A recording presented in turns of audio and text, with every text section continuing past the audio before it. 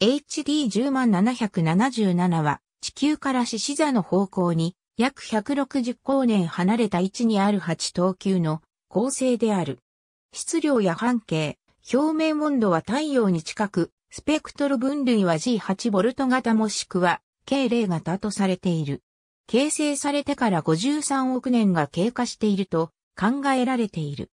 2007年にドップラー分光法による観測で HD10777 を好転する太陽系外惑星 HD10777b が発見された。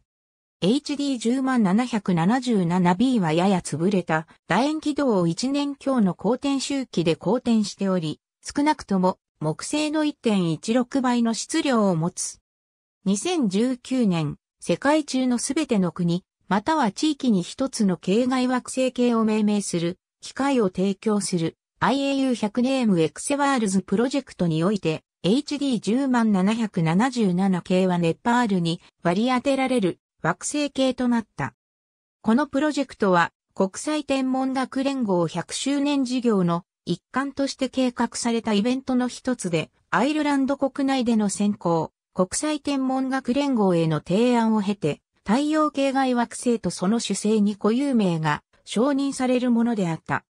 2019年12月17日、IAU から最終結果が公表され、HD10777 は佐川また、HD10777B はロリーグーロンズと命名された。これらはいずれもネパールの国のシンボルとなっている天然の事物に由来しており、サガーマタは世界最高峰のサガルマタに、ロリーグーロンズはネパールの国の花となっているシャクナゲの一種、ラリグランスにそれぞれちなんで名付けられた。ありがとうございます。